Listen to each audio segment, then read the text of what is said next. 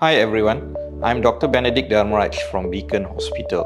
Today I'm here to talk about video assisted thoracoscopic surgery or known as VATS, which is a minimally invasive surgical technique used to treat conditions within the chest cavity. VATS can be used for a variety of procedures. This includes lung biopsies, removal of lung nodules, treatment of pleural effusion, and even more complex surgeries like lobectomies and lung resections. During a VATS lobectomy, we remove an entire lobe of the lung. This is often done for early stage lung cancer. This technique that I use is called uniportal VATS, where only a single 4 cm incision is made on the patient's chest wall. The thoracoscope, which is a thin tube with a camera, along with specialized instruments, are inserted via this single incision, and the affected lobe of the lung is removed. The thoracoscope provides a video feed of the inside of the chest, and this allows us surgeons to perform the surgery with minimal disruption to the surrounding tissues. The minimally invasive nature of VATS means that we can perform the surgery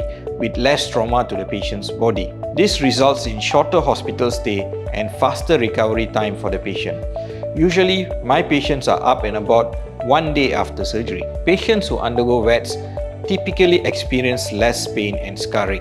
They can return to their normal activities sooner than those who have gone for traditional open surgery. Additionally, the risk of infection and other post-operative complications are generally lower with VATS. Early stage lung cancer often responds very well to treatment and many patients go on to live a long healthy life. It is important that you consult with your doctors on the treatment options available.